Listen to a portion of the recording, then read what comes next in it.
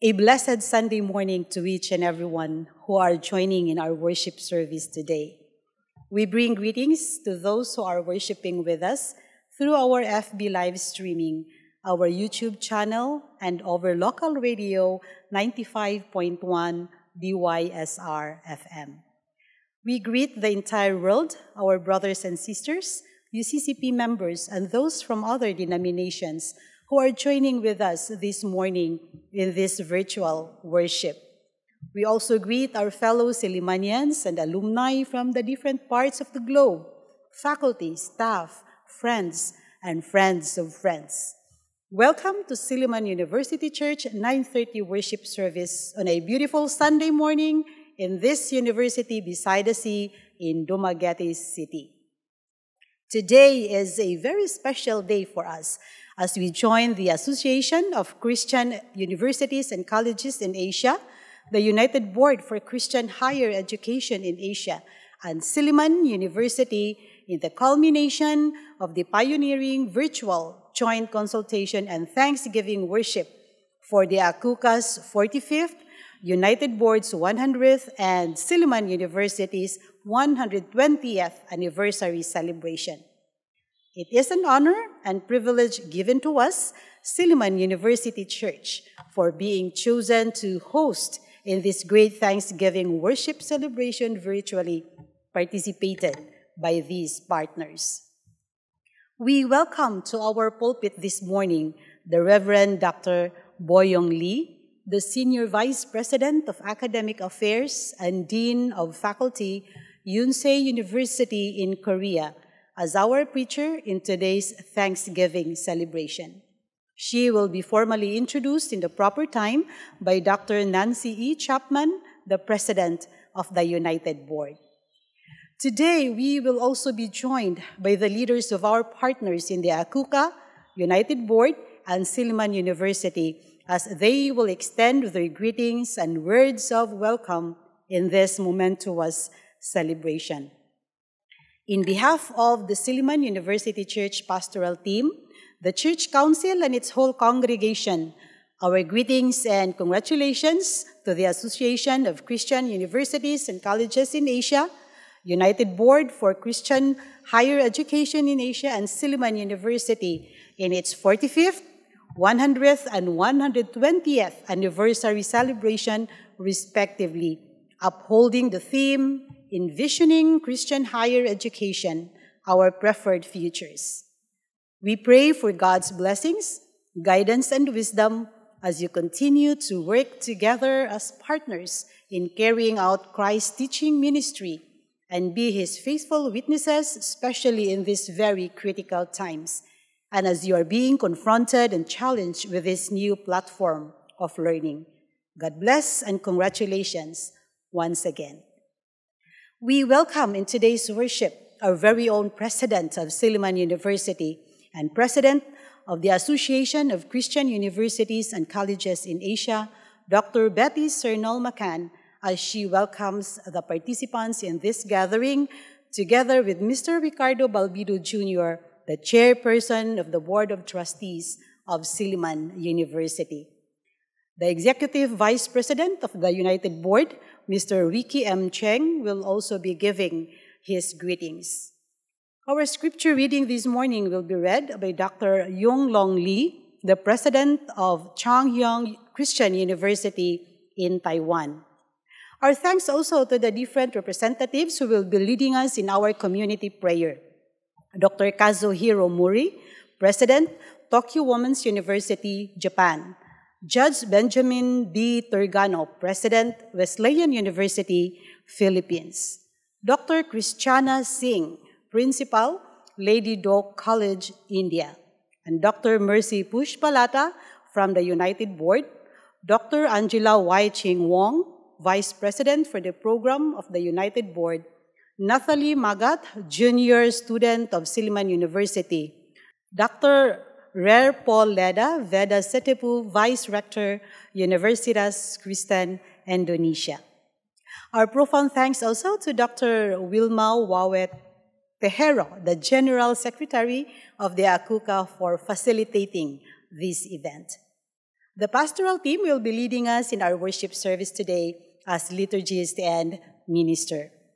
Our endless thanks to our church music team, Professor Isabel Vista, for our beautiful and soothing music at the pipe organ, Miss Allen Dedem Kesed Hovita on the piano, and the Covenant Choir for today's anthem, with soprano duet by Julia Zamar and Cheryl Antonio, conducted by Dr. Elizabeth Susan Suarez, who will also be leading us in our hymn singing together with the volunteer song leaders.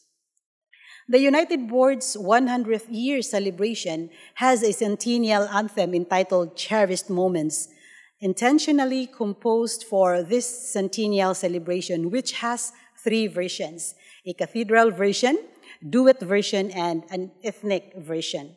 For our offertory song this morning is the duet version of this centennial hymn performed by Miss Cheryl Antonio, soprano, and Mr. Rigel Suarez, tenor and Dr. Elizabeth Susan Suarez as the pianist. And the other two versions, the ethnic version is sung and accompanied by faculty, staff, and students of Silliman University, mainly from the College of Performing and Visual Arts, directed by Dr. Elizabeth Susan Suarez, of which the instruments used in this arrangement are Filipino ethnic instruments. The cathedral version is sung by representatives of ACUCA, and the Chung Chi Choir from Chung Chi College, Chinese University of Hong Kong. These two versions will be played in the ending parts of our worship service, together with a short video presentation about the ACUCA, the UBCHEA, and Silliman University. And we are requesting everyone to please stay with us until the end of this broadcast as we together witness this short video presentation for us to also have a glimpse in the life and services of our partners. So please stay with us. Our never ending thanks to our technical team for making all our online church activities possible. Once again, thank you so much. And just a kind reminder that everything in this worship service is pre recorded. All the hymns are retrieved from our previous worship services. So please be guided. Our profound thanks to all of you for your continued support to the church through prayers and offerings. Thank you to those who have sent in your offerings, church members, friends, and our online worshipers through bank deposit, online transfer, and to those who made requests for your offering to be picked up in your areas. Thank you so much. Your offerings have helped the church in sustaining its ministry in these very challenging times. And yes, for our church members within Metro Dumaguete area who wish to receive printed order of worship, please do let us know by calling or texting the church office or any of the pastors so we can facilitate your need. For those who also would like to give your offerings, you can deposit through our bank accounts or you can use the online transfer through InstaPay or PesoNet.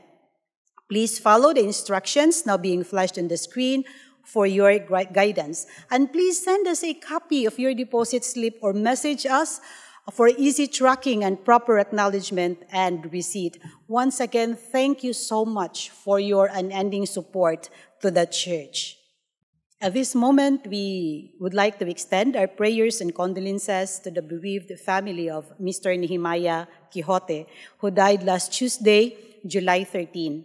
He is the brother of Mr. Mansueto Quixote, our church auditor. Our deepest sympathy and prayers also to the bereaved family of Mrs. Myrna de Jesus, who died last July 14. Visual services were made. An interment of her remains was done yesterday, Saturday, July 17. Let us include them in our prayers for God's comfort and strength. Attention everyone, we would like to inform you that next Sunday, July 25, will be the first mid-year virtual baccalaureate and commencement exercise of Silliman University. And since the commencement exercise will be incorporated with the baccalaureate service, we have anticipated for a longer hour of our service So our worship will start at 9 o'clock in the morning. This is a little earlier to our regular worship service. So please take note, our worship service on July 25, next Sunday, will start at 9 a.m. for our baccalaureate service. Please be guided. Thank you so much. For the rest of the announcement, please browse our parish news uploaded on our FB page. And please continue following us on Facebook and subscribe to our YouTube channel, Silliman University Church, for updates, announcements, and notifications. Thank you very much. Once again, good morning.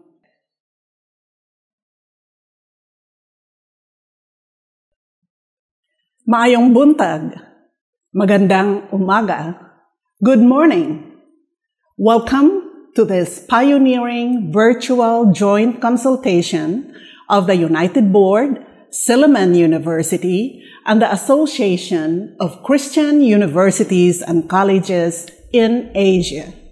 The question that nags us these days is, how do we view the preferred futures of Christian higher education in Asia? When the coronavirus left its deadly mark around the globe, one of the sectors adversely affected is education.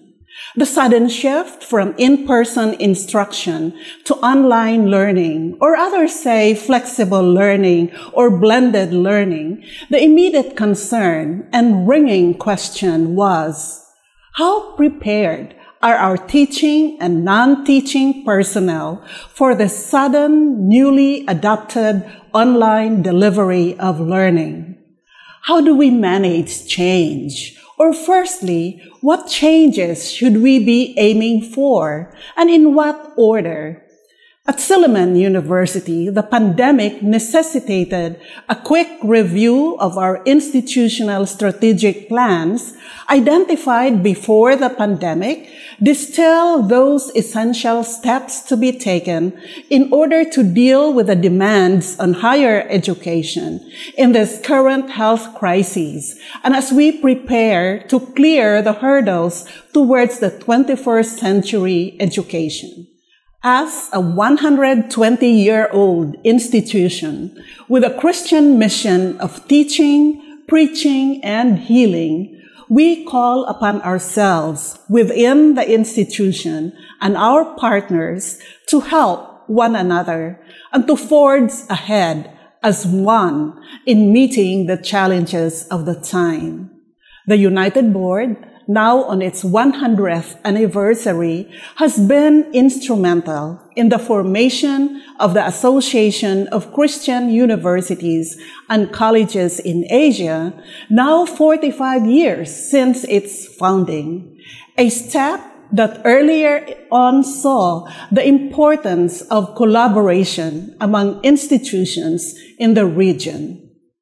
Together, we face the challenge what are our preferred futures for higher education in Asia and beyond? More specifically, in this joint consultation, how can we in Christian higher education institutions address issues of access, equity, and inclusion? And in this COVID-19 and post-pandemic situation, how can we continue to work together in our teaching, research, and community service to heal the land, address issues of climate justice, and together be stewards of a sustainable future for the generations to come? These questions prompt us to dig deep into our intellectual and spiritual resource. And we may not even have definitive answers at this time, but certainly we find ways to respond to the challenges. May this joint consultation allow us to construct a roadmap for our preferred future of higher education. A grounded hope for the future, a new narrative of education. Welcome to the conversation table.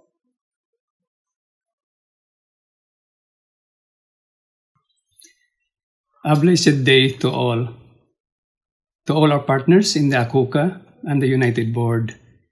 We welcome you in a special Thanksgiving service here in Silliman University Church to culminate our joint virtual consultation. We always allocate time for worship and reflection to thank God for this blessing of collaboration and sharing ideas, experiences with you. A blessing to have gathered experts with the same core values and exchange knowledge on how our institutions can continue to be leaders in addressing social issues. We give thanks to God for giving each participant the knowledge and experience to speak with wisdom and insight on the ways of transformation our world needs and our role in setting that transformation in motion. We give thanks to God for the partnership formed through ACUCA and the United Board Networks, partnership that continue to empower and help one another, especially in such a critical time for the future of Christian education. We give thanks for the 120 years of God's goodness and grace given to Silliman University, 100 years for the United Board, and 45 years for ACUCA. These years that stand as testaments to God's grace and mercy will continue to remind us of what God can do through us as His instruments in the incoming in the coming years. Most importantly, this service is our time to reflect on what the ACUCA United Board and Silliman University have discussed in the past two days using the Christian lens because in every step we plan to take after this gathering, we must remain centered on God and allow Him to direct our every move. Worship is an essential culmination to any activity to remind us to whom we are doing everything for and to whom we owe everything to.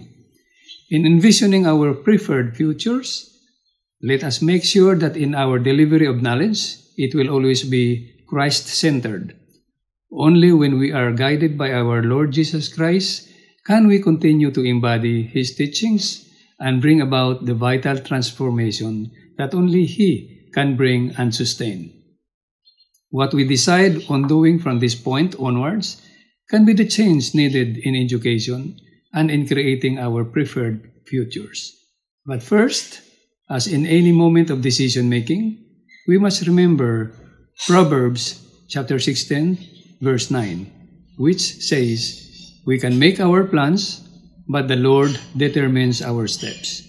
In this moment, let us call our, to God and ask Him to be always in our midst. Thank you and good day.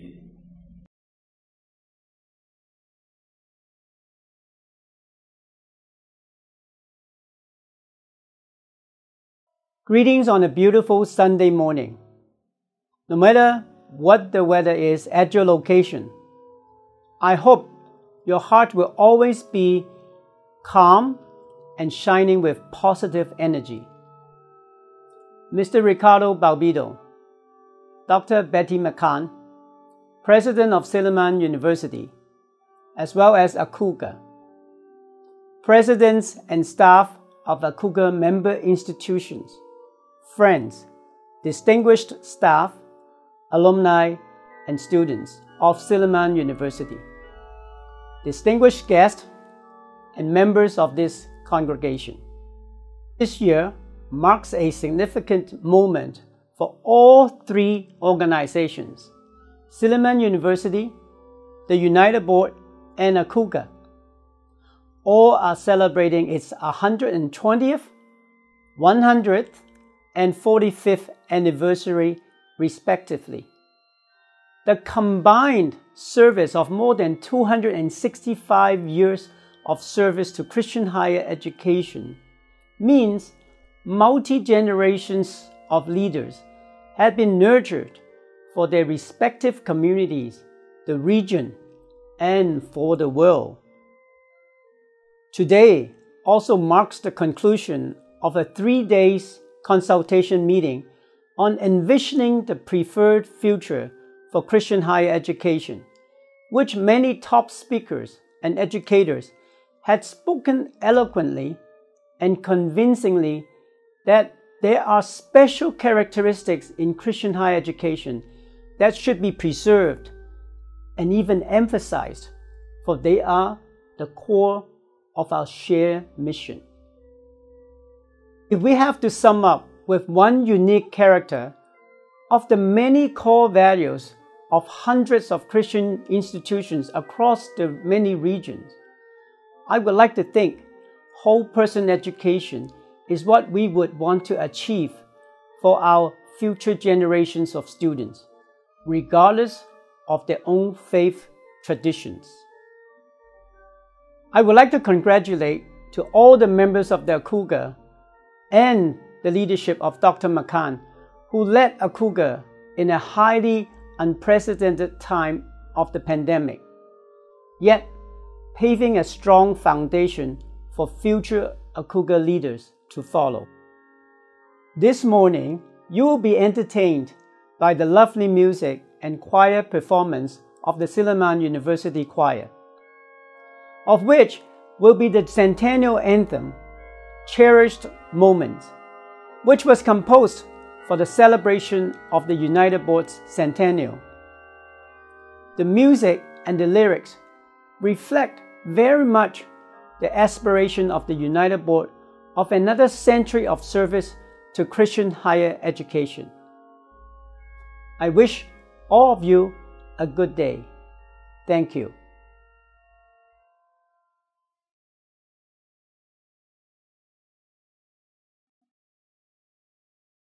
Good morning. It is my pleasure to introduce my friend and colleague, the Reverend Dr. Boyung Lee, who will deliver today's sermon. Reverend Dr. Lee, an ordained United Methodist elder, has served as Senior Vice President of Academic Affairs and Dean of the Faculty at the Iliff School of Theology for the past four years. She previously served in senior faculty positions at the Pacific School of Religion and at the Graduate Theological Union. Her scholarly and theological work reflect her commitment to social justice, and she also considers herself a feminist communitarian educator in her leadership and pedagogical practices. Reverend Dr. Lee received her first degree at Yonsei University, a longtime member of the United Board Network, and she has served in numerous leadership positions at the United Board as a member of our Board of Trustees. We are deeply grateful to Reverend Dr. Lee for so generously agreeing to deliver this morning's sermon on today's scripture. Thank you.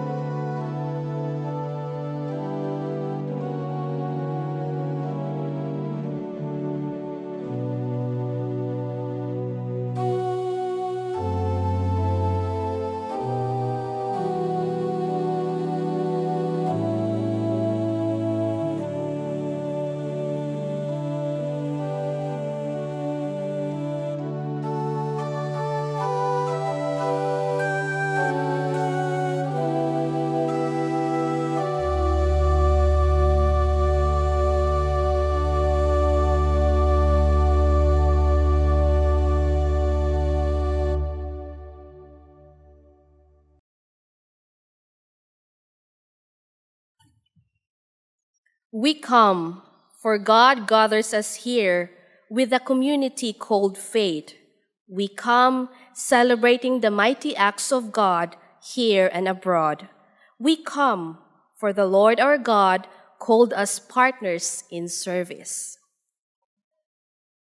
Lord, we come before you, offering our thanksgiving, lifting to you our vision towards a global community where education is anchored in the good news. We are your people, O God, diverse in culture, but united to worship you in spirit and in truth. We come, for God welcomes us here into that home called grace, where God will manifest His presence, filling our hearts with His goodness and love. God clothes us with His goodness and love. We are given the robe of hope to know that better days are coming, where strangers become partners in service, embraced with kindness and love. We come, for God reunites us here as sisters and brothers in that family called love and faith in Jesus the Christ. We come to praise God, the model of justice and the mirror of righteousness where everyone is called as children of the living God, where the broken and the hopeless are cradled in God's peace. Here, in this time of worship, we gather to praise God. Please rise as we sing our hymn of praise.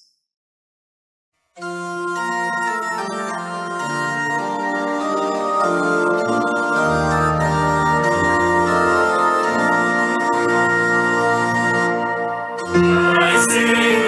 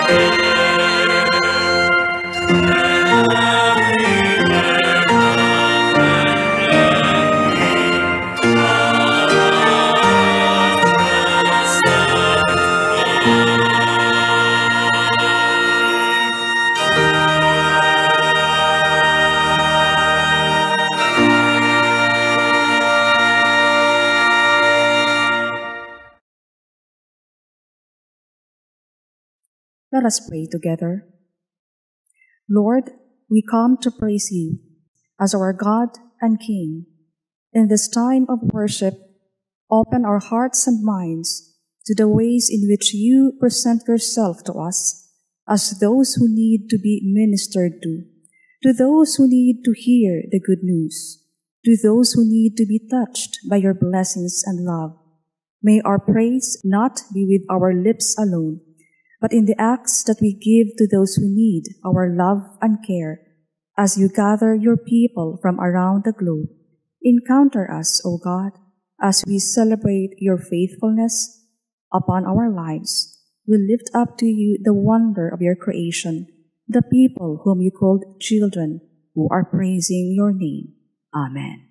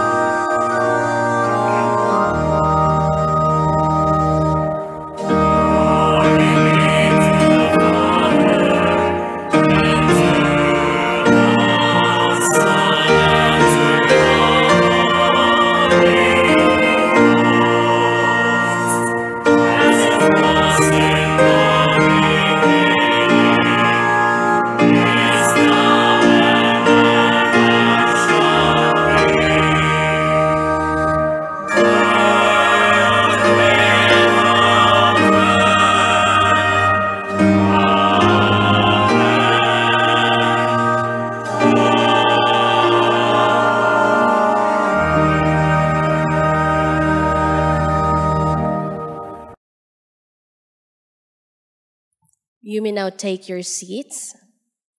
Let us now come to the act of confession. The outstretched hand, the cry for help, the lonely look of desperation surrounded us. Yet we are tempted to turn aside and look the other way. But the Lord, who is good, is calling us by name to come to Him, to drink from His living waters to listen to his voice and follow what Christ did. Today, we are challenged to do the same in this world full of hate and chaos. We are all desperate to be united with God and with one another, yet we refuse to do what He expects from us. Let us now come to God, bringing all our sins that hinders us to obey God's call to feed the hungry, clothe the sick, and visit those who are held in prison. Let us confess before the Lord of justice, healing, and love. Let us now pray our prayer of confession. Holy One, we are like sheep that stray from your fold. We never realize that we too are the perpetually hungry even in spiritual need and at times in physical want. We are the naked, with wounds exposed and bleeding, and yet we never admit. We are the sick, fevered, chilled, and in pain, yet we are too stubborn to ask help and healing. We are the strangers, separated from others and even from ourselves, and still pretended that we are okay. Hear us now as we confess our brokenness and our need. Hear our silent murmurs, O God. Hear what truly is in our hearts that is beyond words to utter. Heal us from what we conceal before others. Help us to see your love amid suffering so we can respond with faith and walk in the way Jesus has taught us. Forgive us for our pride and arrogance, and change our hearts so we can truly go where you want us to go. Amen.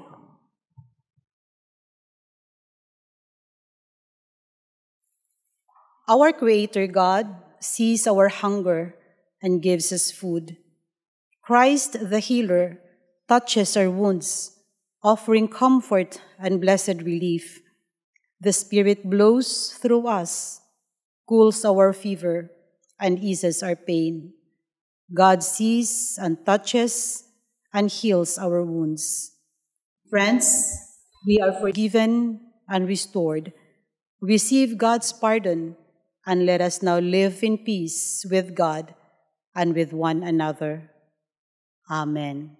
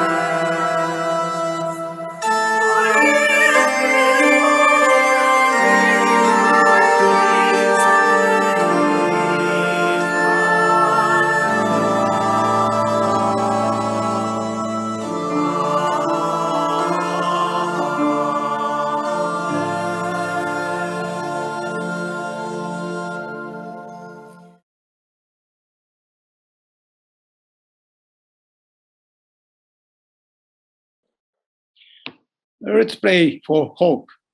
Lord, our God, in this time of crisis, we thank you that you have given us an enduring hope.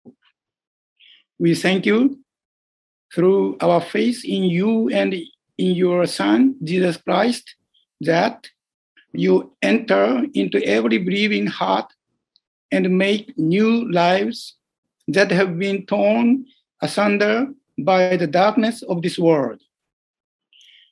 We pray today for those who have lost hope and for those who have never heard it. Grant to us and to those we lift before you in our heart. We pray for hope for those who are lonely and afraid, for those who are hungry and deprived, and for those who are victims of war and violence. We pray for us, your people, that we may become instrument of hope to others, to our families, to our communities.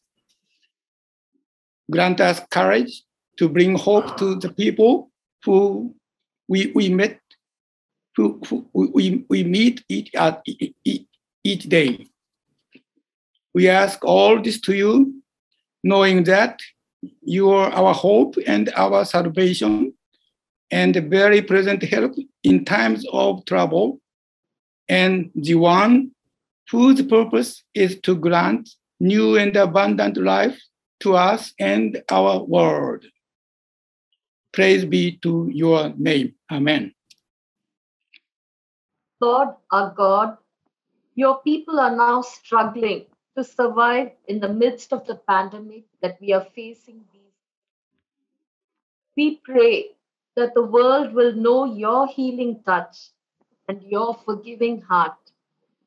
That those who have been hurt by insincere actions and unkind words will hear your healing voice. That those whose lives are filled with dark thoughts or fears will know your peace. For those whose lives are broken by distress, broken by fear, broken by anger, broken by pain, broken by illness, may your healing power and your gentle touch bring warmth and comfort, life and wholeness and restoration to those fractured lives and souls. We also pray for all the frontliners and healthcare providers as they offer their lives in service to your people. Raise our eyes upwards to see the struggling patient and the exhausted caregiver. We pray for wholeness and restoration of both minds and spirits for all the struggling people these days. O Lord, hear our prayer. Amen. Lord, listen to your children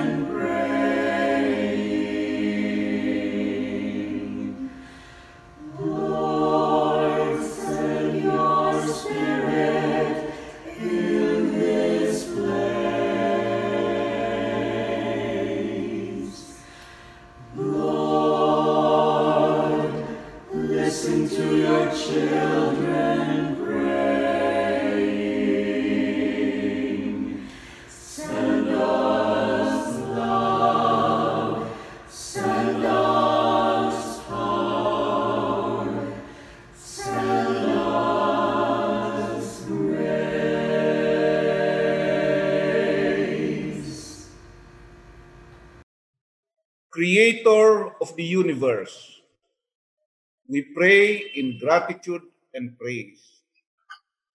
You were there at the beginning of all things, shaping our world and preparing it for us.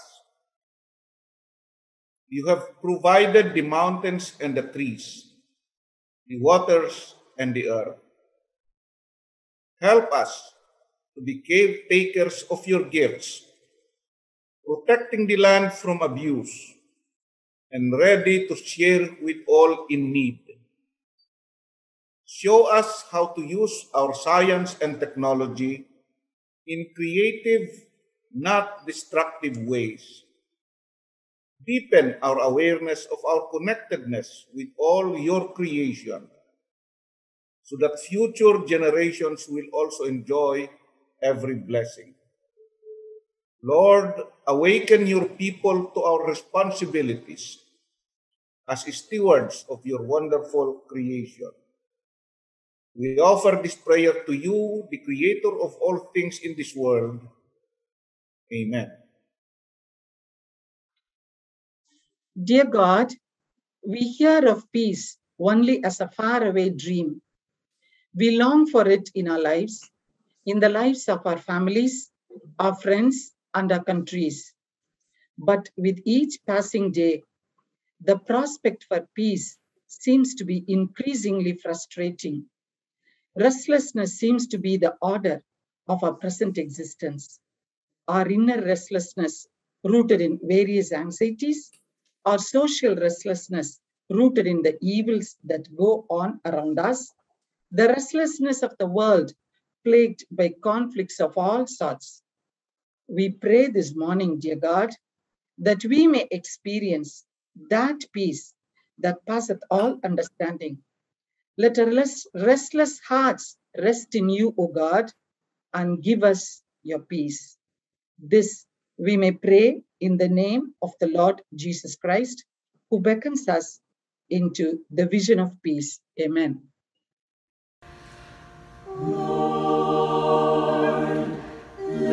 To your children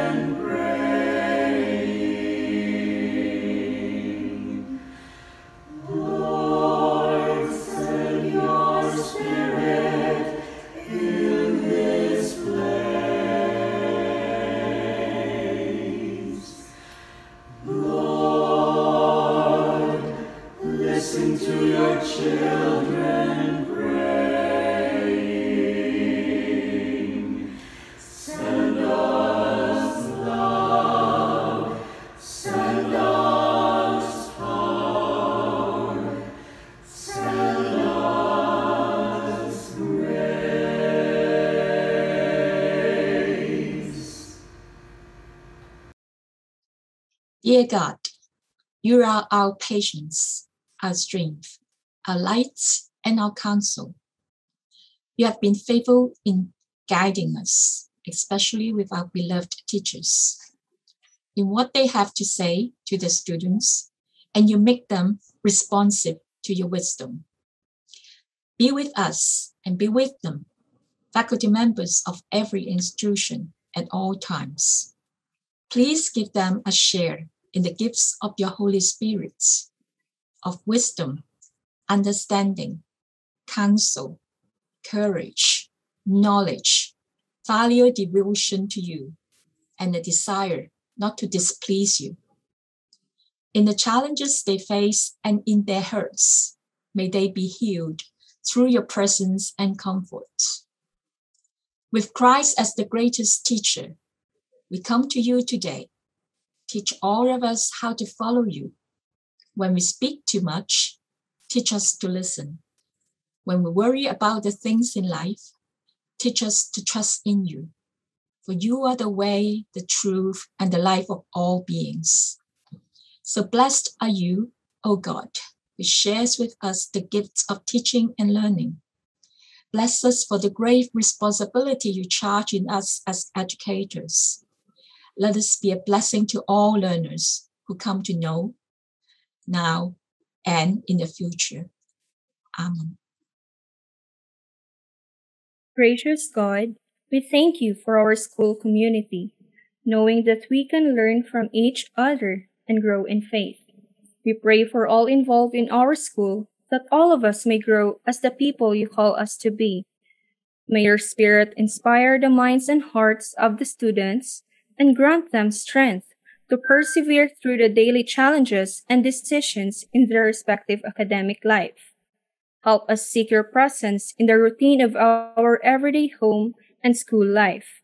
Impart your wisdom that we may continue to seek knowledge with enthusiasm and contribute our time and talents in service to others.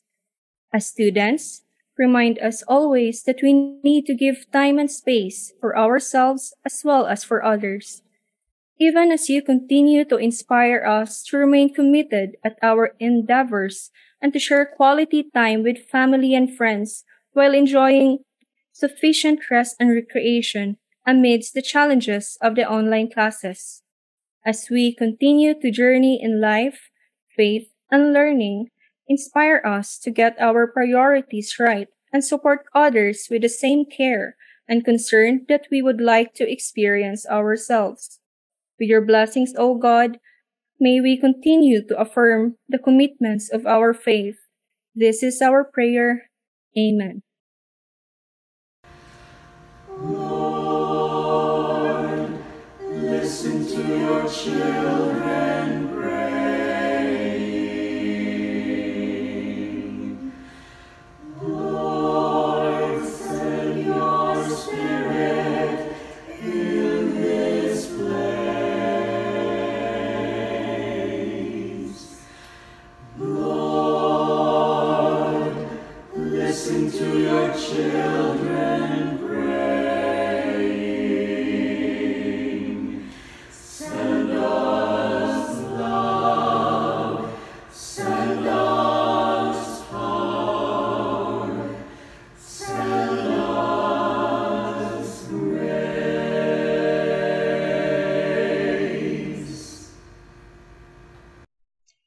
Lord of the universe and leader of your people, give wisdom to all those who exercise authority.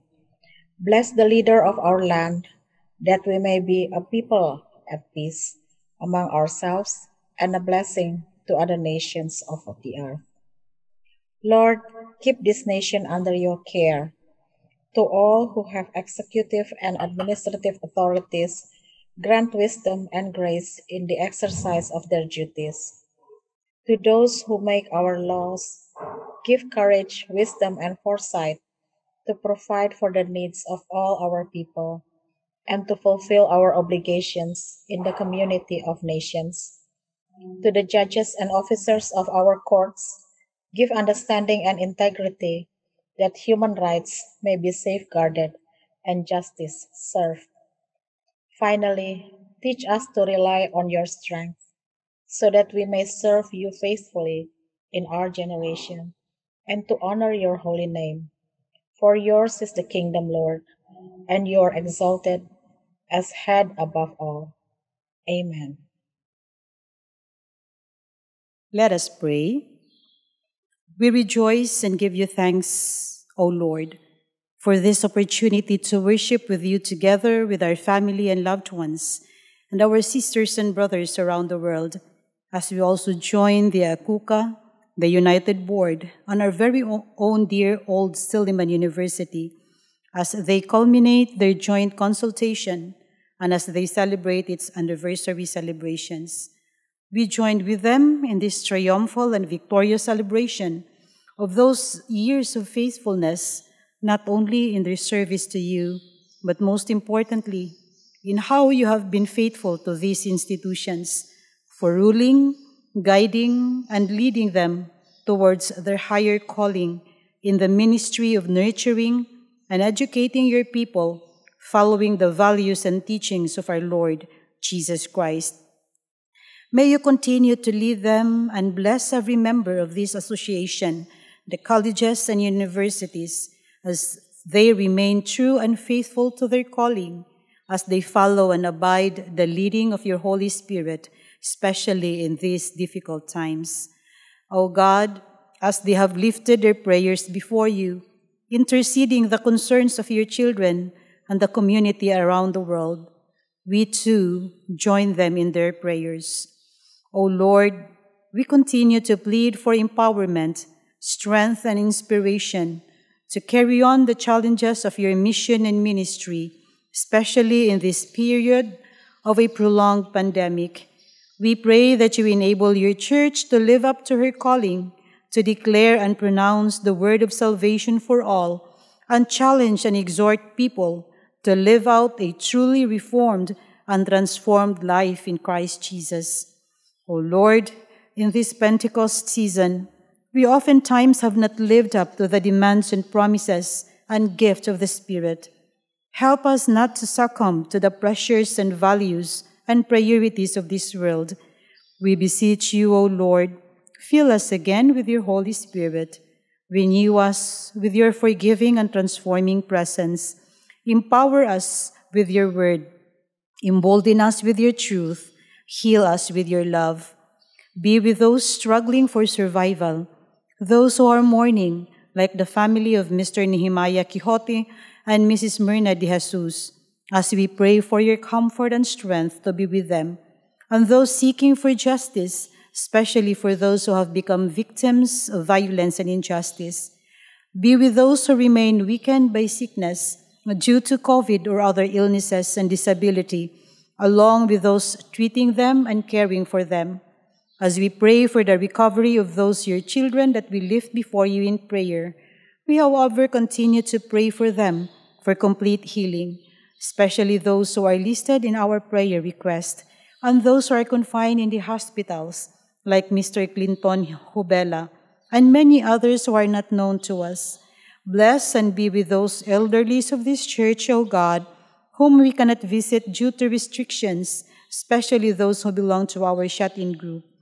Fill in their emptiness and let them feel being remembered. Help, O Lord, those who have been suffering from loneliness and isolation of being quarantined in facilities and centers and longing so much to get home. Help us, O God, with your Spirit in becoming a faithful witness to the dawning of your new creation, where you alone reign supreme as our only Lord, Master, Healer, and Savior. Together with the prayers of your children, and even the silent and unspoken prayers of our hearts, we lift before you these prayers and concerns with confidence that you are listening to us. In the name of Jesus, our Lord and Savior. Amen. Lord, listen to your children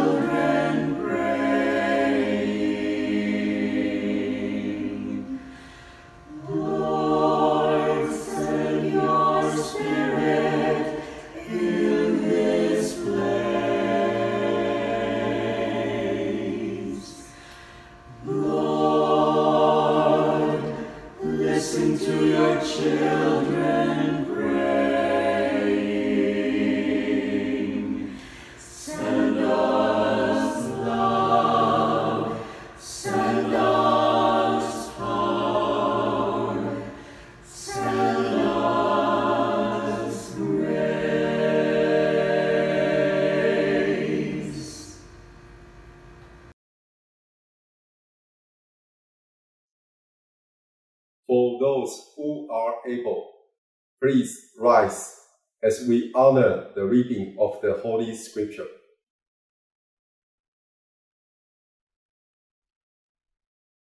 Our scripture reading today is taken from the Gospel of Matthew, chapter 25, verses 31 to 46. Shall we read together? When the Son of Man comes in his glory, and all the angels with him, then he will sit on the throne of his glory. All the nations will be gathered before him, and he will separate people one from another, as a shepherd separates the sheep from the goats. And he will put the sheep at his right hand and the goats at the left. Then the king will say to those at his right hand, Come, you that are blessed by my Father, inherit the kingdom prepared for you from the foundation of the world. For I was hungry, and you gave me food. I was thirsty, and you gave me something to drink. I was a stranger, and you welcomed me. I was naked, and you gave me clothing. I was sick, and you took care of me.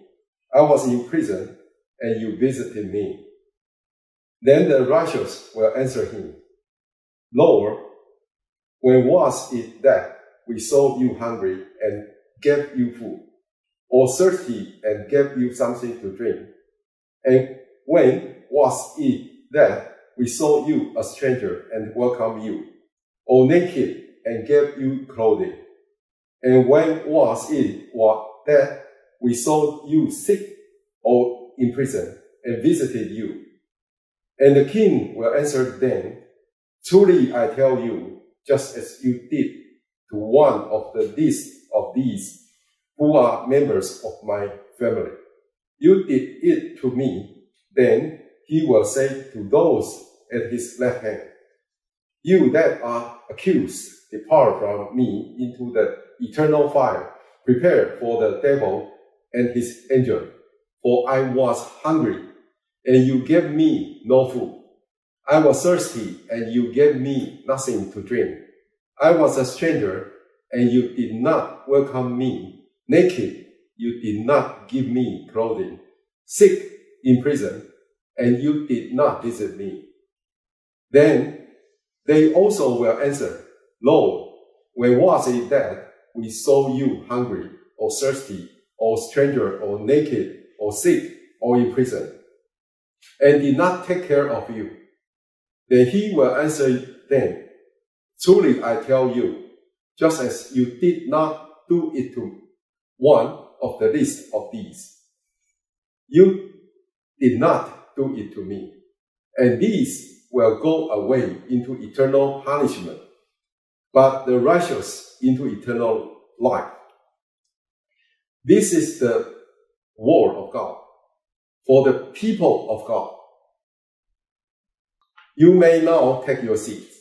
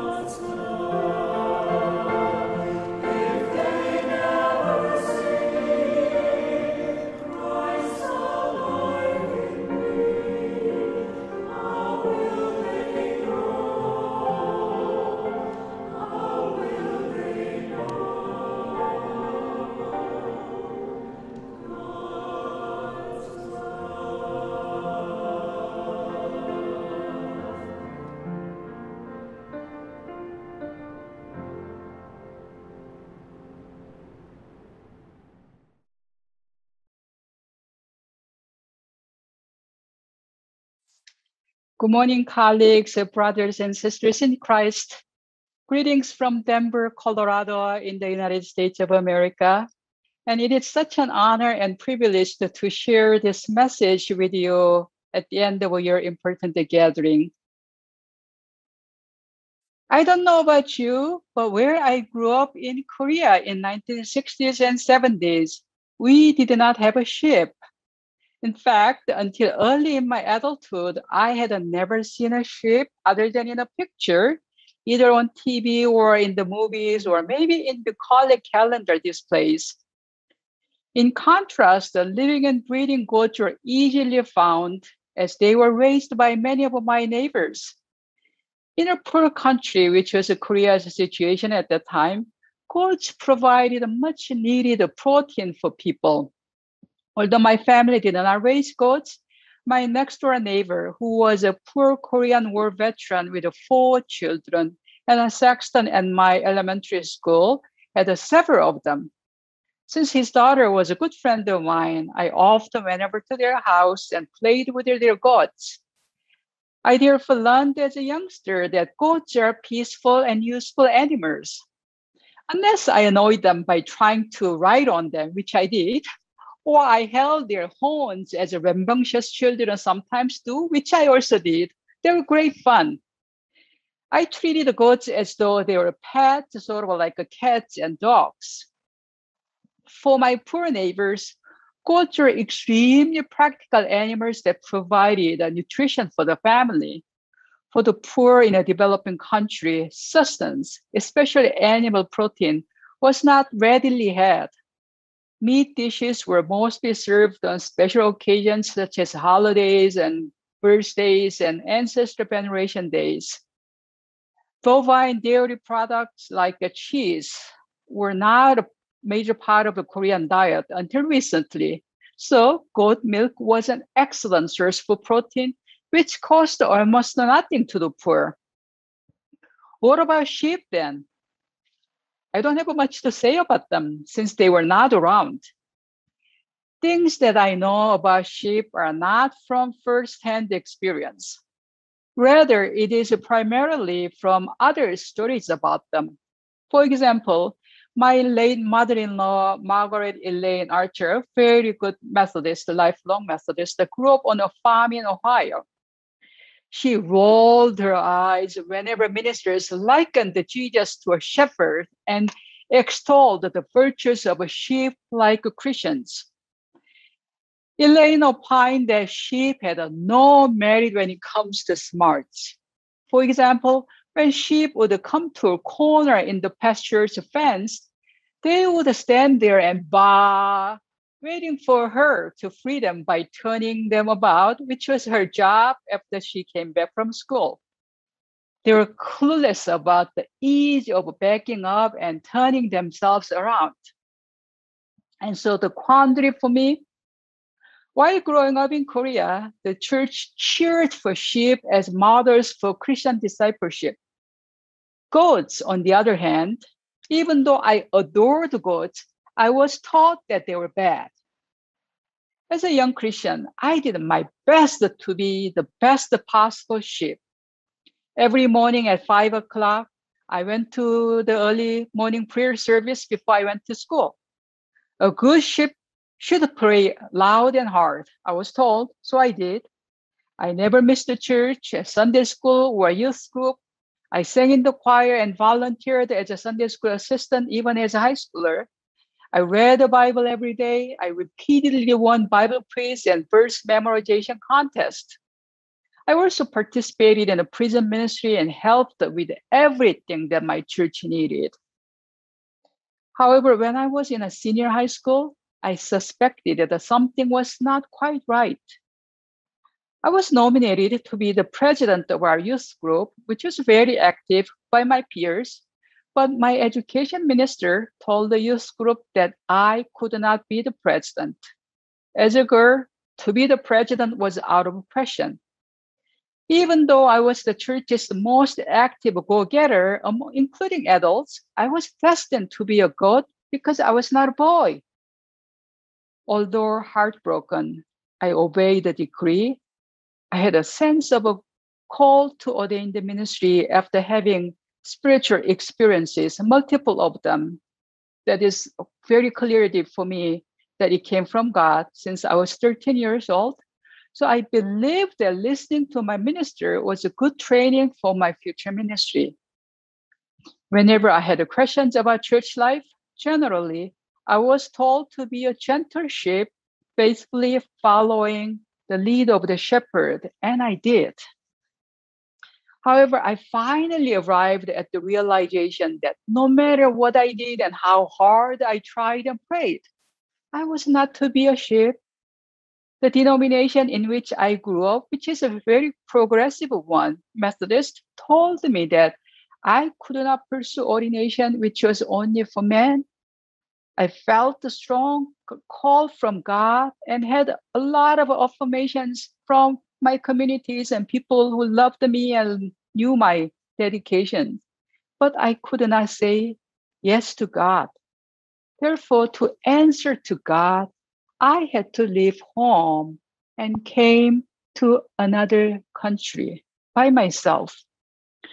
So, what is the merit in today's reading? Please do not get me wrong. I do not sidestep the reading's plea for the followers of Christ to walk our talk by being friends and advocates for the marginalized and by working for justice and peace to bring God's kingdom on earth. Instead, I ask, what if one is born as a goat instead of a sheep? What if you do everything you can do to be a sheep, but still find yourself labeled as a goat? What if your hard work to be a sheep is dismissed? Or what if you are both a sheep and a goat? As an immigrant woman, one who speaks with a strong accent, as I do right now, it is almost my daily life experiences to be treated as a goat. At the same time, as a clergy and a professor of a very prestigious institution that I have a lot of power than many other people and women, including Asian men and also some white people. So I clearly look like a sheep, the someone who made in American society. As you hear through the news, since the COVID 19 pandemic, hate crimes against Asian people are skyrocketing. As of last week, the reported cases is now over 7,000. And I personally experienced that, that hate crime against Asian person. After having long hours of Zoom meeting, I needed to have a fresh air. So I went outside of my house, only a few houses down from down my house a white man in a very dirty white you know truck with a huge American flag was chasing after me, yelling at me with uh, anti-Chinese slurs and saying, "Go back to Asia. Go back to your country. You do not belong here." And he was just threatening me, and so I had to even run to the backyard of my neighbor's house even after 30 years of being in this country, which is a much longer time than I lived in Korea, I was told that I and we Asians never belong here in the United States. Uh, we are perpetual foreigners. We are perpetual goats and second class citizens. My and other Asian Americans' experiences now force us to ask whether today's reading really means what it literally says. Therefore, I ask several questions and I invite you to ask these questions too. What is the context for the reading? As we well know, first century Palestine was under the control of the Roman Empire. So, how did the imperial policy influence the birth and growth of the early church and the writing of the Gospels? According to recent biblical scholarship, the Gospel of Matthew was written by a community that appeared or pretended to bow to Roman imperial policy as a survival strategy at least they appeared like they are supporting Roman Empire's uh, imperial policy. In the Roman Empire, Judaism had a relatively high religious freedom compared to that of other conquered nations and groups. The Romans allowed the Jews to worship their God rather than Roman state decreed divines, and Jewish religious holidays and rituals were observed in synagogues. In other words, early Christians who converted from Judaism to Christianity, believing Jesus as a Christ, their Messiah, they still worshipped in synagogues. And we also read in Acts that uh, Peter and went to Jerusalem temple every day to pray, which is a Jewish temple, right? So therefore, as a part of a Jewish uh, community, Christians also had a religious freedom as long as they appear to be part of Judaism in Romans' eyes. However, the year 70 brought catastrophic changes to both Jews and Christians. When Rome marched into Jerusalem and destroyed the temple, it meant that Jerusalem and its doings, including religious affairs, were now under Roman rule. So the Jewish community had to reinvent themselves. And one of the unfortunate results was antagonism between Jewish Christians and synagogue leaders, ultimately resulting in a break between the two. Because to maintain their identity, synagogue leaders told those strange people who believed Christ as their Messiah, their Savior, to leave the synagogue and so that they could protect their own purity and identity. And this meant that the Christians lost their home.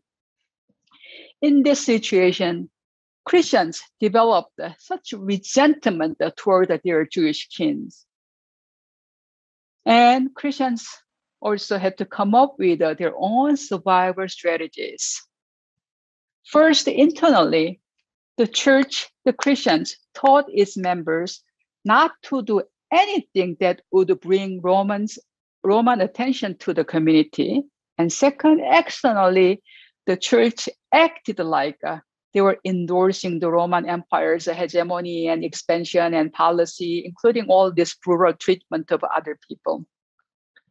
Both of these positions were reflected in many places of the Gospel of Matthew. And for example, in Matthew chapter 18, verses 15 to 20, we read the church's teaching on how disputes are to be resolved among members.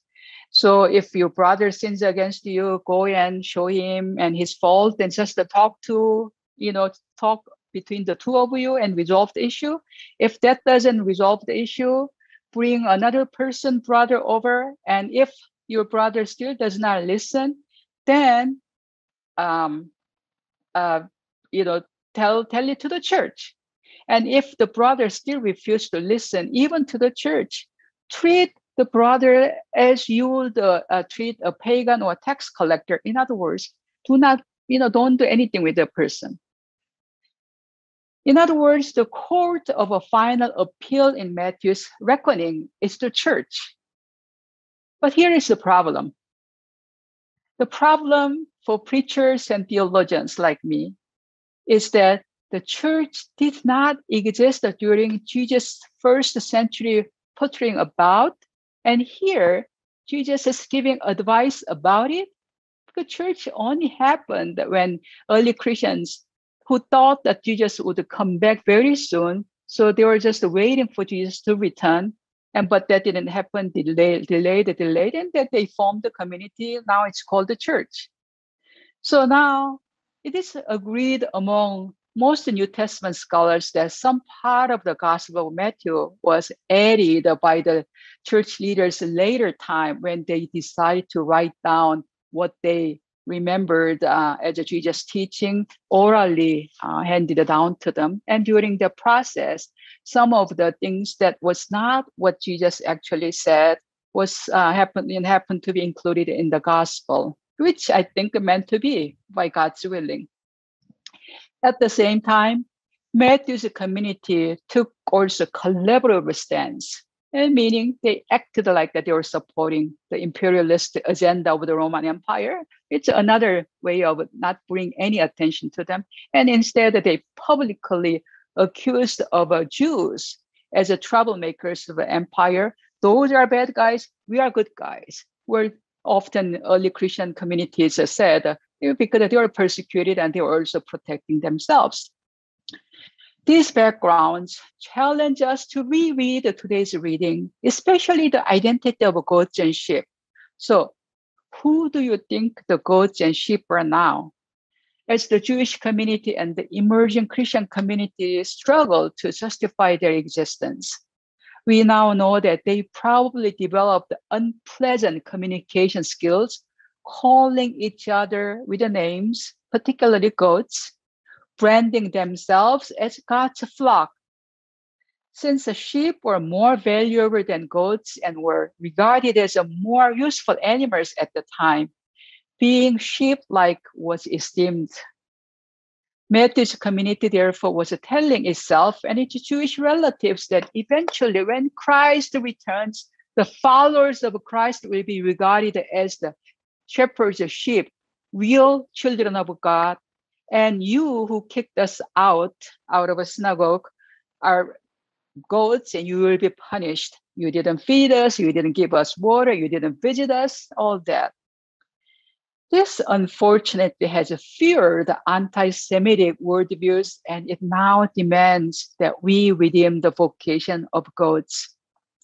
As someone who is in the US higher education, I personally know that many US colleges and universities have difficulties with decreasing enrollment, and students from Asia or collaborations with Asian colleges and universities have been very important survival strategies for many of these schools. And also, many of these schools are competing with one another to bring more Asian students who pay full tuition to their school. Yet, it is also the reality that Asian students are not as respected as American students, namely white students. In a global educational context, Asia has been regarded as goats for a long time rather than sheep, and many of us left Asia to get quote unquote higher quality education. But now the situation is different and almost opposite. Asia's impact, in fact, the ship. So those of us in higher education in Asia or the US higher education as Asian leaders like myself know so well that we are both goats and sheep at the same time, but often we know the experience of the goats quite well because we have been in their camp for a long time. This makes us be uniquely equipped to fulfill God's mission as gods, as people of faith. Isn't it our calling to be with the goats and to challenge the doings of a powerful sheep in a society that allows conformity? For if we uncritically adopt the church's traditional use of this text, we not only endorse the status quo, but we also effectively tell the marginalized, including many people in Asia, to roll over to be shared by the powers that be. This morning, I brought a handmade coffee mug that years ago someone gave to my late husband, the Reverend Dr. Archer Summers, who was a Methodist minister, human rights lawyer, and process of philosophy, uh, philosophy professor. It has a picture of a goat on it.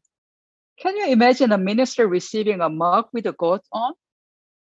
When the person gave it to him, she said, I believe that in this universe, there is nothing that can separate us from the love of God, as Paul says in the eighth chapter of the Romans. However, Pastor, if there is a really hell, I know that you, as my pastor, will be there defending goats as a remarkable role model for God's reign. Everyone benefits when we unashamedly fulfill our calling to be the best of that to which God has called us, whether it be as a sheep or as a goat or both. For the good news is that at creation, God looked across all the contexts that God had created and called them good. Whether you are a goat, sheep, or both, let us ever live into that potential in Christ Jesus. Amen.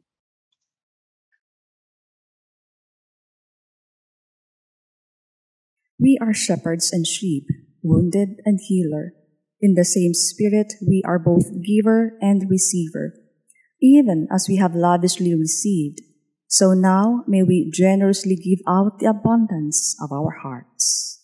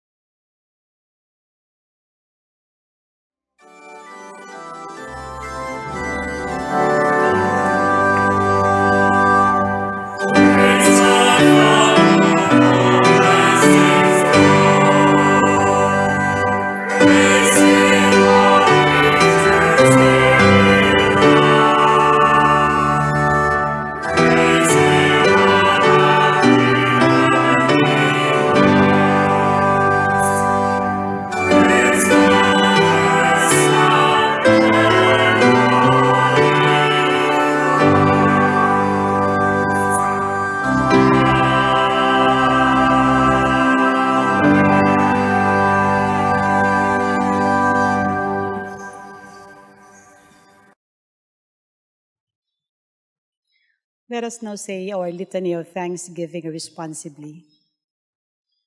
Holy One, you have given us all that we have and all that we are. Through these gifts and in our lives, help us be the shepherds and healers and lovers that you are calling us to be. Bless these gifts now offered before you to feed and to clothe your people in need, and for the gospel to reach far and wide. Lord, your love teaches us how radical is your way to understand your purpose and plan. We offer not just these gifts, but our endeavors, the plans and our vision for the future, and to keep our goals anchored in our Savior, Jesus the Christ. Gracious God, you have blessed us tremendously. You have provided for all your children and never neglected the least, the last, and the lost among us.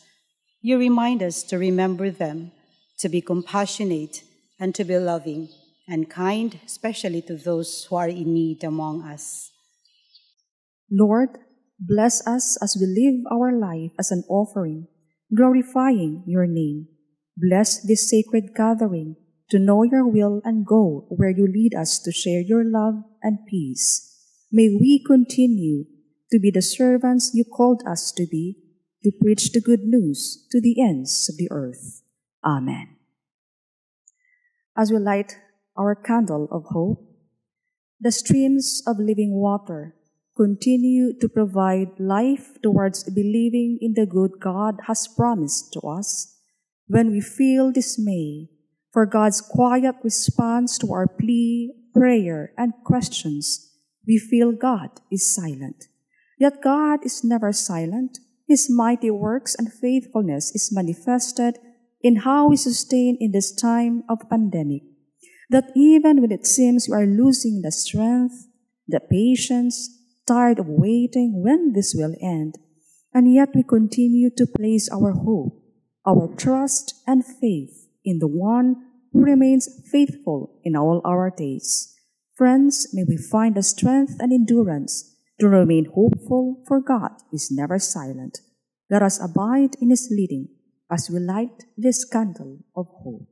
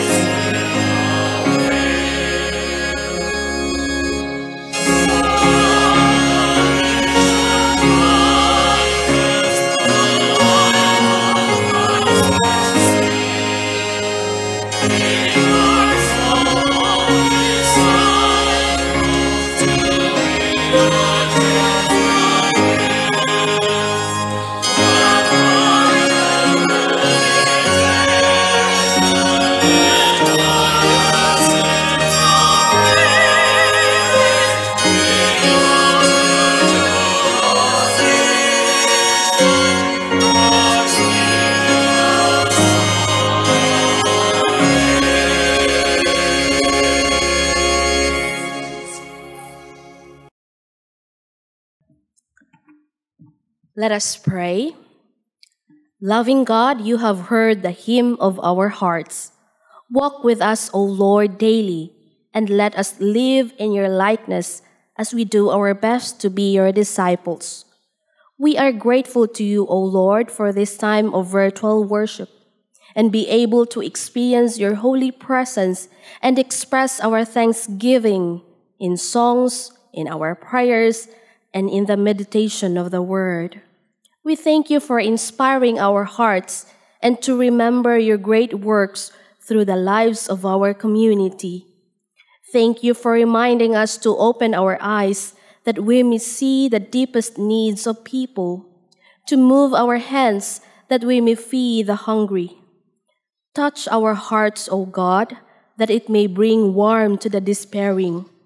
Teach us the generosity that welcomes strangers, clothe the naked, give care that strengthens the sick. Help us, O God, as we unite ourselves in doing the task that you have entrusted to us.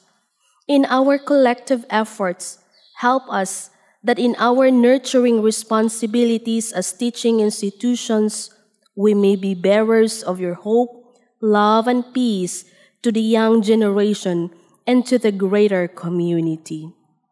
Lord, we also offer prayers for your people today, for those who are afflicted or suffering at this time, for those who need healing, for those who require bread or shelter, for those who live in violent homes and communities, for those who are grieving, and for those whose needs are known to you alone. Hear the prayers of your people, dear God, even the unspoken need. All this we pray in Jesus' name. And now, people of God, go now in peace. Go now and embrace the hope to which God has called us. Recognize Christ in friend and stranger, and as Christ has been gracious to you, so be gracious to those in need. And may God give you a place to rest on rich pasture, and may Christ Jesus be the shepherd who binds your wounds, and may the Holy Spirit give you wisdom and reveal to you the fullness of the one who fills all in all. We go in peace to love and serve the Lord in the name of Christ. Amen. Amen.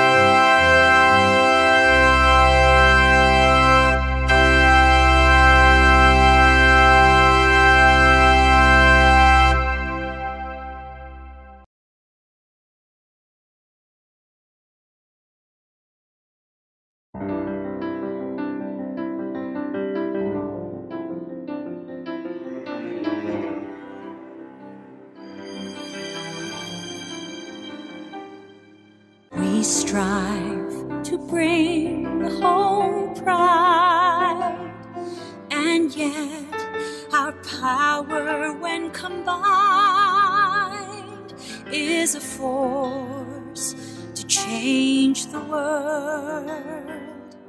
Our nations share a common dream. Our roots are old and new. Our stories, joyful echoings of bonds, forged strong and true. Together we're a universe. We are a future.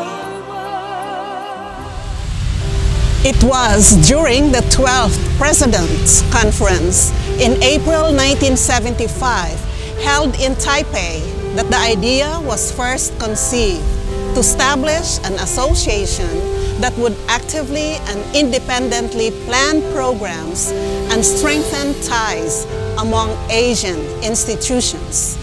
Dr. Paul Lauby, the Executive Director of the United Board for Christian Higher Education in Asia, proposed this idea, and the participants in this conference agreed unanimously and subsequently created an executive committee which took charge of studying the feasibility for such an organization. The executive committee reviewed then the ideas presented at the President's Conference and formulated recommendations. Thereafter, the group elected a planning committee composed of the following Dr. Ko of South Korea, Dr. Sutarno of Indonesia, Dr. Job of India, Dr. Agustin Pulido of the Philippines, Dr. Tam and Dr. Daniel Tse of Hong Kong. A series of meetings and consultations followed. At the founding conference held on December 6 to 9, 1976 in Manila, Philippines, the Association of Christian Universities and Colleges in Asia, or ACUCA, was formally established. This was participated by 22 institutions, and the final draft of the ACUCA Constitution and bylaws was completed. The following were the elected officers at the Manila Conference. Dr. Daniel C.W. Tse, Hong Kong Baptist College, President. Dr. Quintin Doromal of Silliman University, Philippines, Vice President. Father Joseph P. Tao, S.J., Sophia University, Japan, Treasurer. Father Jose Cruz, S.J., Ateneo de Manila University, Philippines. Dr. Xie Ming-san, Tunghai University in Taiwan. Dr. Wu Chu, Yonsei University, Korea. Dr. Sutarno Satya Wacana Christian University, Indonesia, as member of the board, and Dr. Victor Ordonez de La Salle University, Philippines, as the Secretary General. They composed the first ACUCA Executive Committee. From 22 institutions in Asia, ACUCA now stands at 69 strong universities and colleges in nine locations in Asia, namely Hong Kong, India, Indonesia, Japan, South Korea, Myanmar, the Philippines, Taiwan, and Thailand. With the COVID-19 pandemic, it is my prayer and wish that all the member institutions will maintain and strengthen their Christian identity. See to it that the relevance of our educational programs will be in line with the 21st century education. To all the member institutions of ACUCA and to those who are friends with the network, we welcome all of you to be part of this endeavor.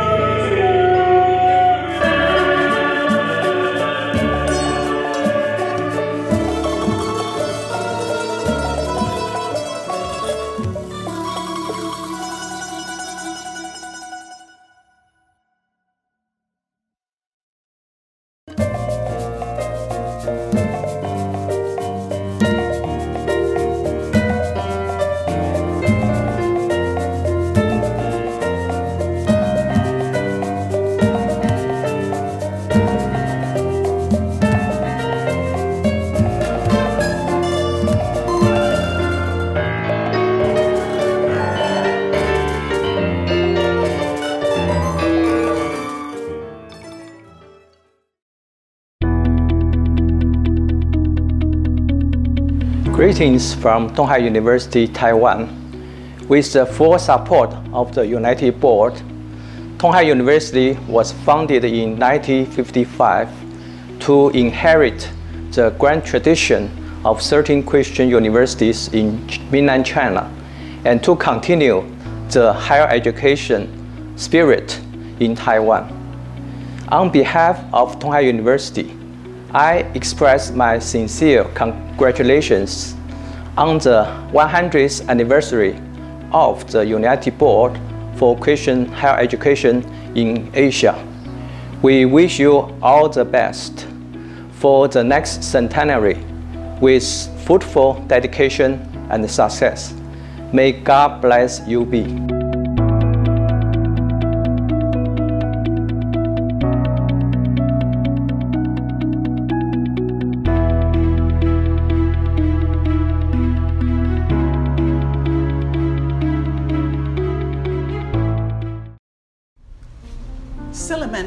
University, a 120 year old institution of learning, greets the United Board for Christian Higher Education in Asia as it marks its 100th year of service to colleges and universities in Asia. May the next 100 years provide you with more dedication and success in meeting your goals and be a source of fulfillment and joy as you live out your mission. Mabuhay! In this world of knowledge power, the number of inputs go up as the number of people and ideas continue to increase. Then we do what humankind always does. We rely on the familiar, the trusted, and the personal. That is what the United Board of Christian Higher Education in Asia has come to stand for in the domain of higher education. Wishing this great organization, the United Board of Christian Higher Education in Asia, for fostering the culture of inclusive knowledge sharing and promoting knowledge societies with ethics, values, and trust. Christ University, Bangalore, India wishes you continued success for this 100 years milestone and many more to come. Congratulations. We at Suzhou University would like to extend our hardest congratulations to all of you at the United Board for Christian Higher Education in Asia. We have always admired United Board's dedication to the spirit of educating the whole person. And throughout your history, United Board has continuously enhanced the teaching quality of educators, helped cultivate countless leaders, as well as strengthened the relationships among stakeholders in the Christian education community. We are honored to be a member of United Board and look forward to facing new challenges and opportunities together well into the future. Congratulations.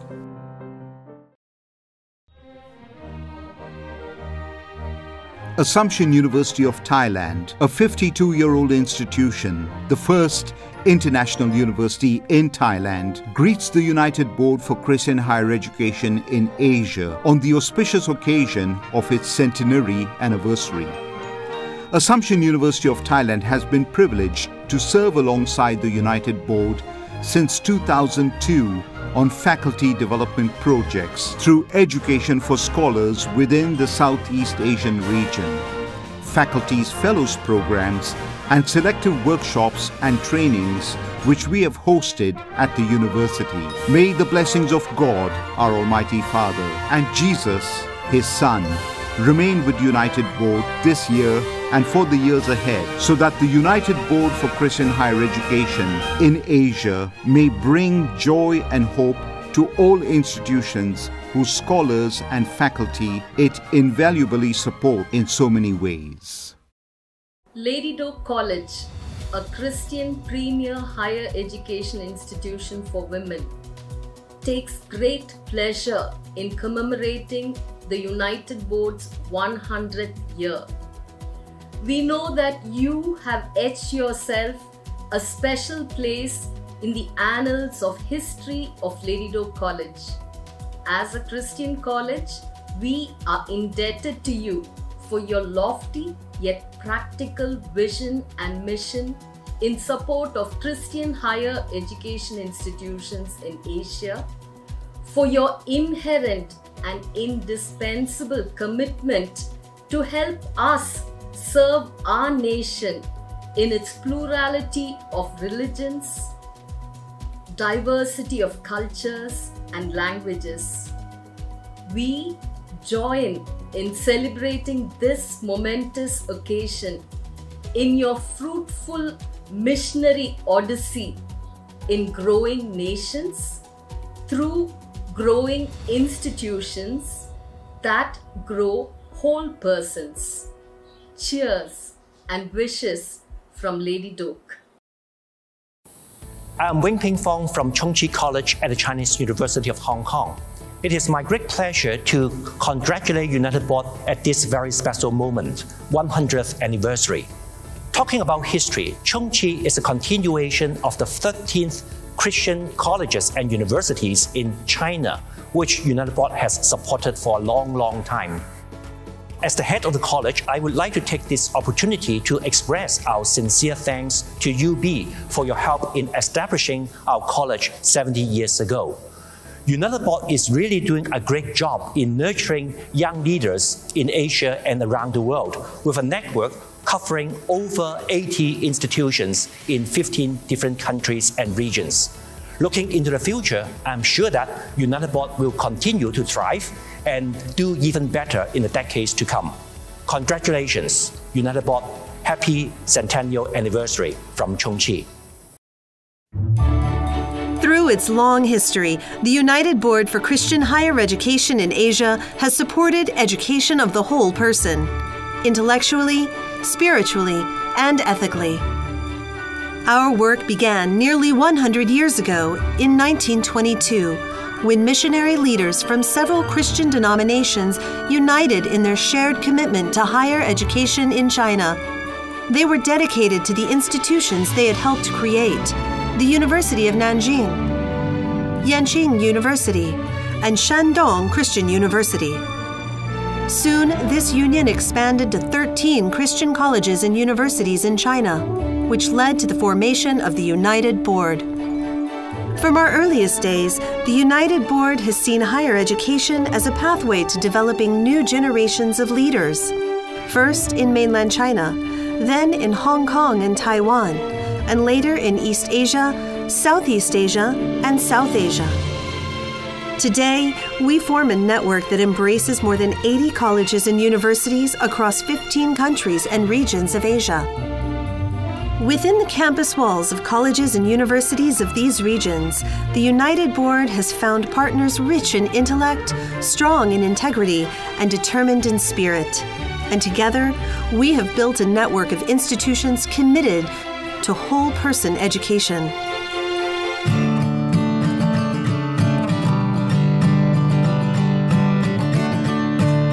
Whole person education is the education of the whole human being. It forms a human being rather than simply transmitting information or specific skills. It creates people with imagination, creativity, the ability to work outside the box and to collaborate and build community.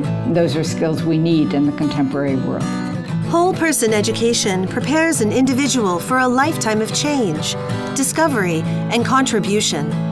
The whole purpose of our education is to prepare students for a purposeful life. In order to achieve that, we would like our students to be able to develop uh, intellectually, uh, emotionally, and then they also develop a sense of commitment uh, to the well-being um, of the greater good of the community.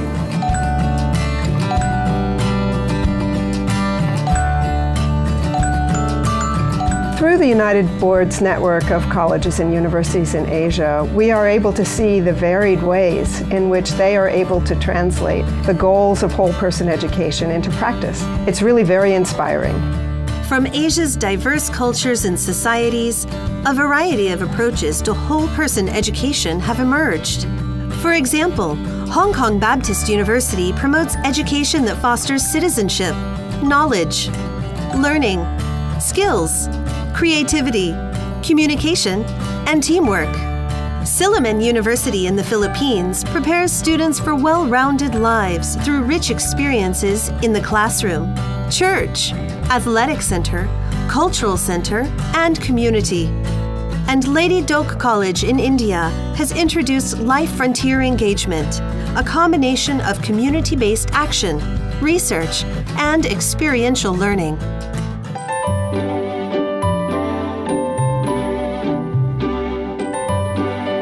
We try to persuade students that uh, preparing for a specific job is risky actually. We want to tell our students that college experience actually is not vocational. It's a whole person education.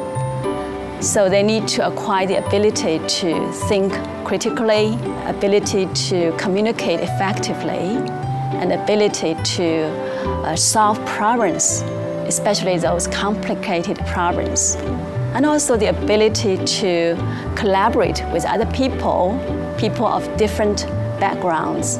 Whole person education connects these skills with concern for others.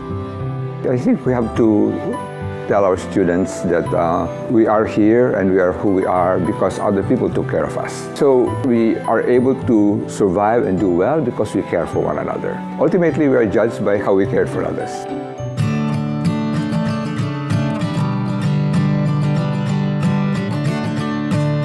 At the United Board, we feel called to bring an alternative set of values to higher education. Our leadership and faculty development programs make that possible by investing in the people needed to deliver whole person education.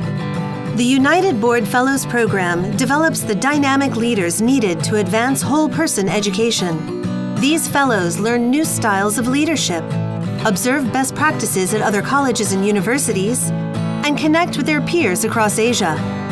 The United Board Faculty Scholarship Program helps promising young faculty pursue advanced degrees at Asia Pacific institutions. They strengthen their academic qualifications, embrace new ideas about teaching, and build academic networks.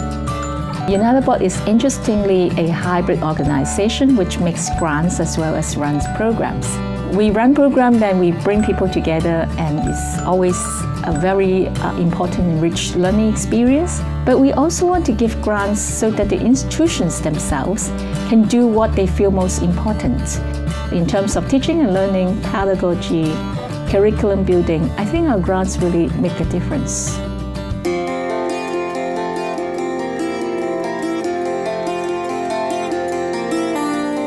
Person education forms the core of the United Board's work in leadership development and faculty development, in creating links between the campus and the community, in building greater understanding of Asian cultures and religions.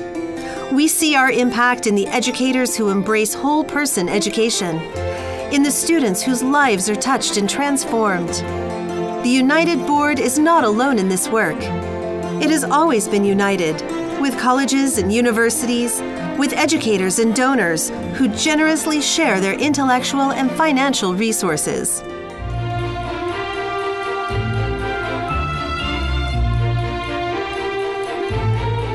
In 2022, uh, the United Board will celebrate 100 years of service. We know that, that the work that we began 100 years ago is really not over yet. In many ways, as we look at the opportunities that lie before us, the work is really just beginning. And so we reach out at the time of, of our centennial um, to, to say who will, who will share this work with us. And, and we trust um, not just in God's providence, but in the generosity of donors uh, and friends of the United Board who've supported us for a long time and whom we count on for support in the future.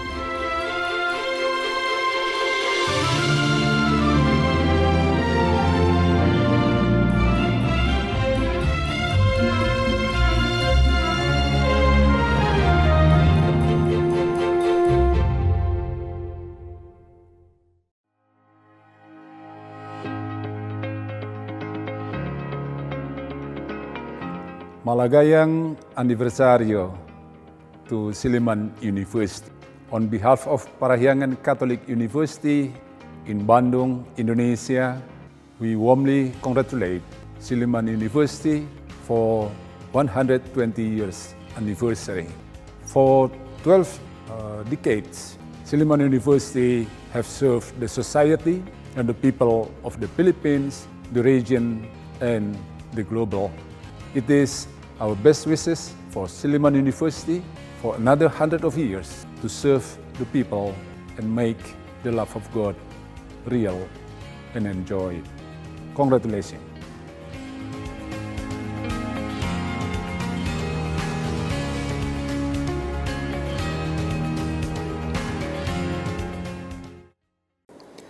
Greetings from Nagoya, Japan. All of us here at Nanzan University send our congratulations and best wishes to all of you at Silliman University as you celebrate your 120th anniversary. In fact, we at Nanzan are celebrating our 75th anniversary this year.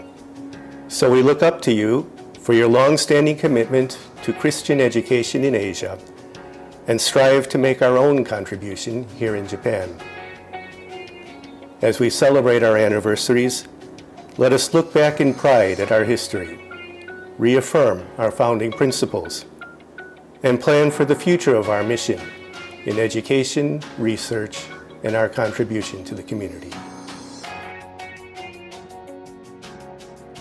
I wish to extend my heartiest congratulations to Silliman University on completing 120 years of yeoman service to humanity.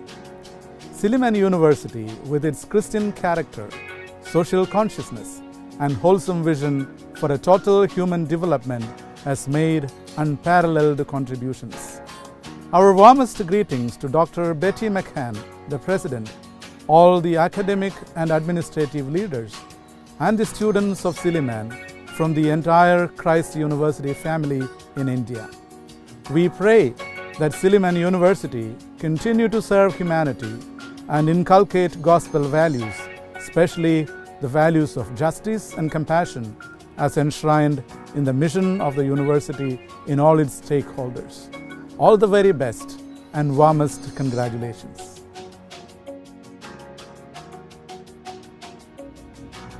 Wesleyan University Philippines and the Association of Christian Schools, Colleges and Universities in the Philippines extend warmest greetings to Silliman University on the occasion of its 120th founding anniversary.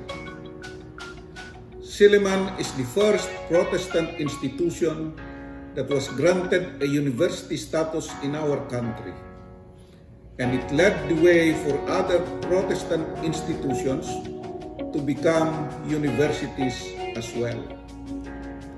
The gains achieved by Silliman University for the past 120 years has advanced in a meaningful way the cause of Christian higher education in our country. And those gains have been sources of inspiration for us to move forward and to think beyond the issues and limitations of these difficult and trying times. On a personal note, may I convey our deepest thanks to Silliman University and to President Betty McCann for being a supportive and affirming partner to Wesleyan University Philippines. Truly, we praise God for Silliman. On behalf of Assumption University of Thailand, I am privileged to greet and congratulate the Board of Governors, the President, the faculty, staff, and students of Silliman University in its 120th year anniversary.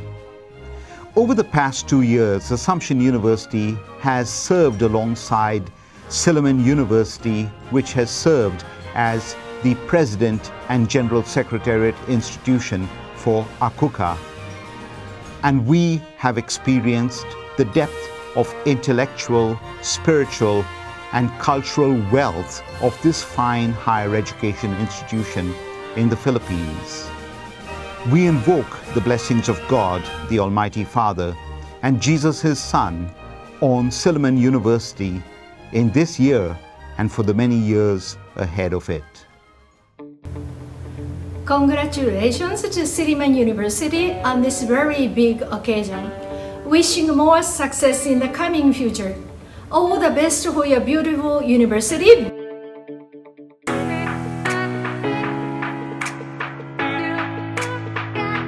Hello friends at the Silliman University. Providence University in Taiwan would like to send you a big congratulations on your 120th founding anniversary. May Silliman University continue to thrive and shine a light on the way, the truth, and the life in the world. 恭喜，Cheers！I am Philipus Tule, SVD from Widya Mandira Catholic University, Kupang, Indonesia. I know that Silliman University celebrates its 120th anniversary this year. As a member of Association of Christian Universities and Colleges in Asia, ACUCA, which is now led by Dr. Betty Cernol, the president of Silliman University, I would like to invoke God's guidance and wisdom that Silliman University can take courage and hope to avoid panic and fear in the midst of COVID-19 pandemic. We hope that they can adapt into the 21st century learning environment that whether we like it or not is heavily based on the internet and digital technology. Like the pandemic, this anniversary will become contagious with the spirit of Silliman, which is wonderful and inspiring to be life-giving spirit and hope for the whole society of the Philippines and the Christian universities in Asia, especially the ACUCA members. That is why, on behalf of Widya Mandira Catholic University, I would like to congratulate the President and all the staff of Silliman University. It is a day to celebrate your success and achievements. Happy anniversary. Wishing you more success in the future. All the best. Selamat berbahagia. Selamat pesta. Maligayang anibersaryo sa Silliman University. Binabati ko kayo sa inyong susunod na tagumpay. Hangat ko lahat ang inyong tagumpay sa faculty members, empleyado at mga mag-aral. Patnubayan na ba kayo ng pong may kapal?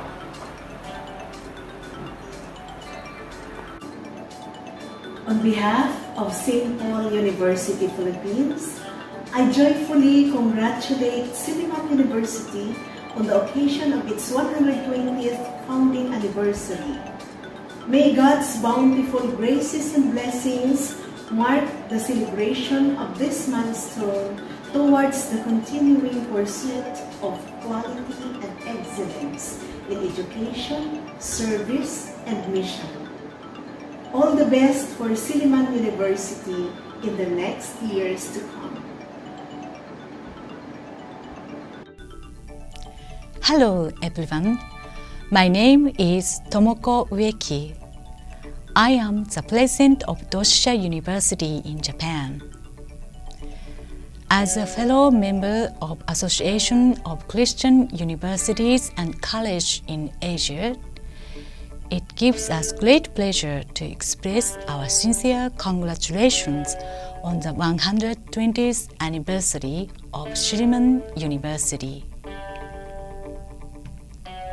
We would like to take this opportunity to wish that your university will continue to fulfill its mission and that it will continue to grow and flourish for many years to come.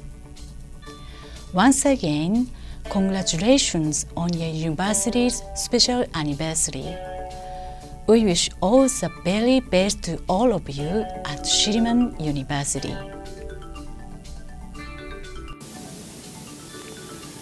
Magandang, 안녕하세요. Uh, I am Kwang Sub Lee, uh, President of Hannam University, Korea. It is my honor and privilege to express my heartfelt congratulations to President Betty McCann and uh, everyone at the Silliman University on the 120th anniversary of university's founding. Silliman University is the most prestigious Christian institution of higher learning in Philippines and uh, is recognized as one of the foremost centers for academic excellence in the Southeast Asia. Uh, Silliman's excellency was not achieved overnight, but reflects the tireless work and the devotion of its faculty, staff, and students. We cherish our long-standing relationship with the Silliman University and hope that we'll continue to work closely together in the years to come, not just for the benefit of our two universities, but for the good of the global community. On behalf of everyone here at Hannam University, I'd like to offer once again uh, our congratulations and pray that our Lord will continue to abundantly bless 셀레만 유니버시티. 살라마트 포 감사합니다. 바이.